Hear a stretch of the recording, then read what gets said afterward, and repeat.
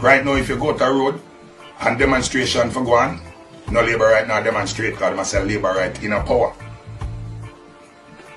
So a man want demonstrate for him party and not for him country. When rice raise and chicken back or flour raise, PNP and JLP have to pay for that. So why when you demonstrate a PNP or JLP if you demonstrate one of the whole way I go through it? What so Jamaica people stupid and stay? This is how we grow. We don't know but boy. Jamaica people just fight each other. They don't like each other. Just go to night traffic now and try go. Not even a little past them no one game. Jamaica people selfish.